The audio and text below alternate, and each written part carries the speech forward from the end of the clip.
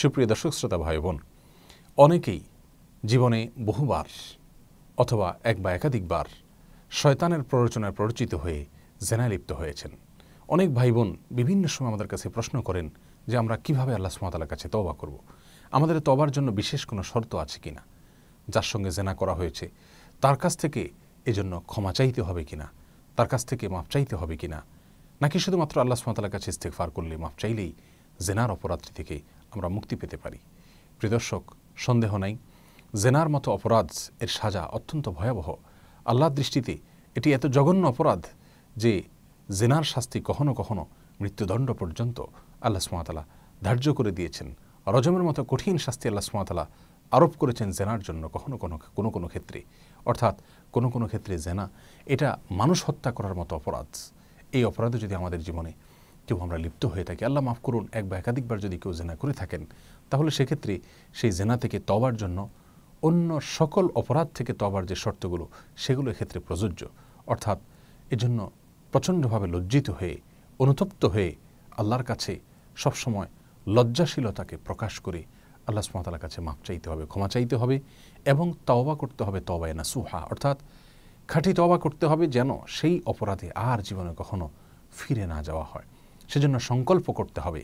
কঠিনভাবে যদি সংকল্প করা হয় এবং পেছনের গুণা থেকে সরে আসা হয়, গুনাহের উপকরণ থেকে এবং আসবাব থেকে, মাধ্যমগুলো থেকে যদি তিনি সরে আসেন এবং আল্লাহর কাছে লজ্জিত হয়ে আগের কৃত অপরাধের জন্য ক্ষমা চেয়ে, মাপ চেয়ে নতুন করে আর কখনো না করার জন্য সংকল্প করেন, দৃঢ়ভাবে প্রতিজ্ঞাবদ্ধ হন তাহলে ইনশাআল্লাহ জেনার অপরাধ আল্লাহ সুমাতালা ক্ষমা করবেন।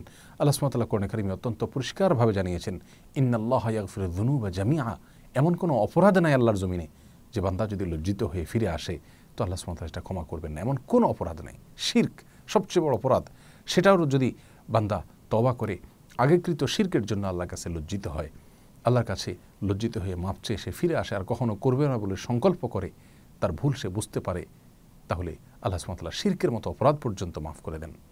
অতএব শির্কের মতোই জেনা সহ অন্য সমস্ত অপরাধ থেকে বান্দা যখন কায়মনোবাক্যে আল্লাহর কাছে ইস্তেকফার করে, আগের কৃত অপরাধের জন্য আল্লাহর কাছে লজ্জিত হয়ে ভুল স্বীকার করে, ক্ষমা চেয়ে নতুন করে জীবন গড়বার জন্য সংকল্প করে, আর কখনো করবে না বলে দৃঢ় প্রতিজ্ঞা করে আল্লাহ সুমতালা বান্দার সে তওবা কবুল করেন। নবী আলাইসাল্লাম বলেছেন, ইন্নাল্লাহ ইন্নাল্লাহ ইয়াকবালু তওবাত আল আবদি মালাম ইউগারগির।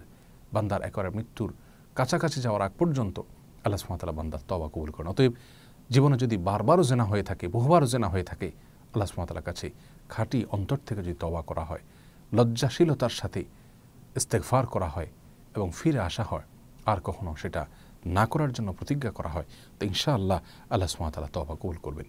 প্রিয় দর্শক, এক্ষেত্রে যার সঙ্গে জেনা করা হয়েছে, তার কাছ থেকে ক্ষমা চাওয়া এটি শর্ত নয়। আল্লাহ সুমাতালার কাছে ক্ষমা চাইলেই চলবে যদি সেই জেনা বিশেষ করে উভয় পক্ষের সম্মতিতে হয়ে থাকে।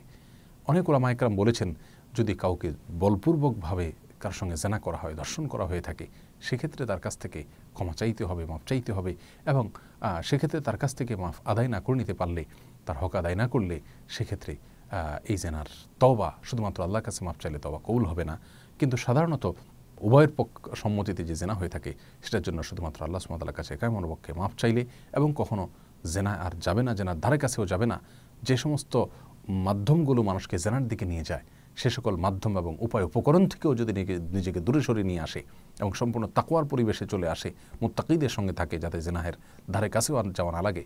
তাহলে ইনশাআল্লাহ আশা করা যেতে পারে আল্লাহ সুমাতাল্লাহ জেনার সমস্ত অপরাধগুলো মাফ করবেন। বিধায় নিরাশ হওয়ার কোনো সুযোগ নেই। আল্লাহ সুমাতাল্লাহ বলছেন আল্লাহ তাক না তুমি রহমতুল্লাহ আল্লাহ রহমত নিরাশ হয়েও না।